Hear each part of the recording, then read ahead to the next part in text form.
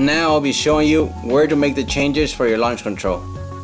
Once you have your K-Manager software open, plug up your K-Pro from your laptop to your ECU. Click under File, and we're going to open the existing file stored on your ECU.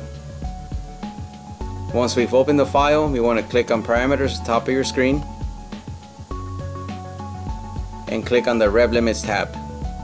Make sure to enable your launch control and by enabling it, it'll give you access to other parameters.